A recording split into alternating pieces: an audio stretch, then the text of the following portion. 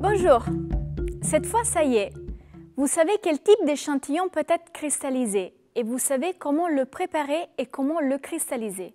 Nous sommes donc prêts à aller ensemble collecter nos données des diffractions. Nous allons passer toute cette semaine au synchrotron Soleil. Deux lignes de lumière sont particulièrement adaptées à l'acquisition des données des diffractions X des cristaux des macromolécules biologiques, Proxima 1 et Proxima 2a. Cette semaine, nous resterons sur Proxima 1. Cette ligne de lumière sera notre exemple pour illustrer les principes généraux qui s'appliquent sur toute ligne de lumière dédiée à la cristallographie biologique, même si certaines caractéristiques varient d'une ligne à une autre. Que se passe-t-il? Lorsqu'on expose un cristal au faisceau des rayons X L'objectif de cette première séquence est que vous compreniez un effet des rayons X sur les cristaux.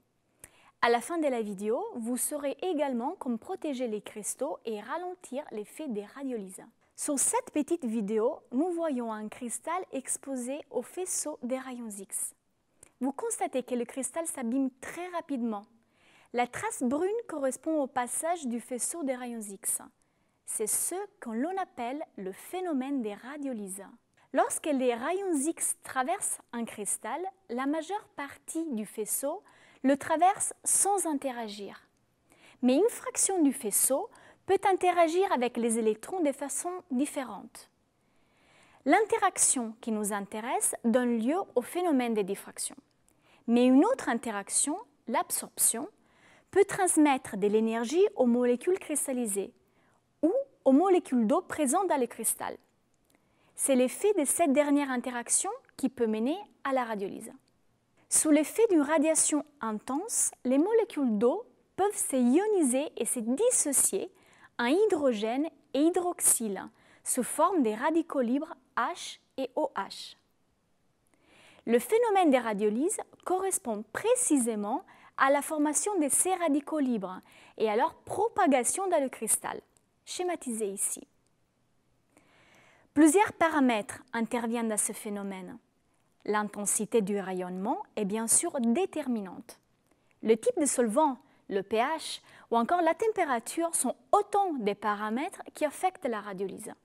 Un cristal des macromolécules biologiques contient en moyenne 50% des macromolécules et 50% des solvants, donc autant des molécules d'eau. Cette grande quantité de solvants rend les cristaux des macromolécules particulièrement sensibles au phénomène des radiolyses. Pour limiter ce phénomène et avoir le temps de collecter nos données, nous jouons sous la température. En effet, à basse température, le phénomène des radiolyses ralentit suffisamment pour procéder à une collecte des données. Voyons comment nous procédons pour amener des cristaux à basse température. Idéalement, nous souhaitons descendre à des températures les plus basses possibles pour limiter la radiolyse. Mais il est également essentiel de travailler à des températures compatible avec nos outils, notre matériel et les lignes de lumière. Un premier problème vient du contenu en eau du cristal. Si l'eau se transforme en glace pendant le processus de congélation, elle se dilate et le réseau cristallin se détériore. Pour éviter ça, nous plongeons nos cristaux dans un gaz liquéfié à basse température, dans lequel les cristaux congèlent très rapidement. De cette façon, la glace n'a pas le temps de se former on dit qu'on vitrifie l'échantillon. Le gaz liquéfié le plus couramment utilisé est l'azote, dont la température d'ébullition se situe à 77,4 degrés Kelvin, soit moins 195,8 degrés Celsius. Certains préfèrent l'éthane liquide car il permet de refroidir plus rapidement les cristaux. Il semble que dans certains cas, l'éthane abîmerait moins les cristaux, mais son caractère combustible le rend plus délicat à manipuler. Voici comment nous procédons ici avec l'azote liquide. L'azote est disposé dans un récipient adapté, résistant au froid. La boîte contenant les cristaux est placée ici, à côté de la loupe binoculaire. Pour limiter davantage le risque de formation de glace dans notre cristal, nous devons le cryoprotéger. Une façon simple de faire consiste à prélever quelques microlitres de la solution de cristallisation à laquelle nous ajoutons un agent cryoprotectant comme un PEG, du glycérol ou un autre alcool, ou encore un sucre, contenu dans le tube que je prends ici. Quand j'ai terminé mon mélange, je place entre 10 et 20 microlitres de solution protectrice dans un des puits de la boîte 24 puits que vous voyez ici. Tout à l'heure, je vais rincer mon cristal dans cette solution cryoprotectrice avant de la plonger dans l'azote liquide.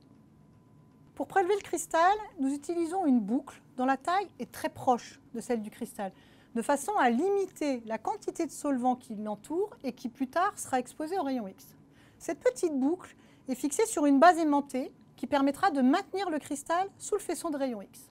L'ensemble boucle, cristal, base aimantée est soit rangé dans un petit récipient cylindrique tel que celui-ci, soit placé sur ce que l'on appelle une cassette de stockage, qui sera elle-même stockée dans le robot passeur d'échantillons au moment de l'acquisition des données de diffraction. Je commence par le grossissement et la focalisation de façon à bien voir le cristal. J'approche la boucle de la goutte comme ceci et je pêche le cristal. Maintenant, j'approche la goutte contenant le mélange de solution de cristallisation et de cryoprotectant. Je passe le cristal dans cette solution pendant seulement quelques secondes et je le récupère rapidement. Je plonge tout de suite la boucle portant le cristal dans la solution d'azote liquide. Et voilà, notre cristal est congelé, stocké dans la cassette de stockage qui sera positionnée dans le robot dans la cabane expérimentale. Chaque cassette peut contenir actuellement jusque 16 cristaux congelés. Vous savez maintenant comment protéger vos cristaux et les congeler à basse température. Ici, nous sommes dans la cabane expérimentale de la ligne Proxima 1. C'est ici que va se passer l'acquisition des données. En le dirigeant depuis la salle de contrôle, le robot que vous voyez ici va nous assister à distance pour positionner chaque cristal sur le faisceau. Dans ce récipient ici, nous pouvons placer entre 3 et 9 de ces cassettes de stockage selon la géométrie du récipient.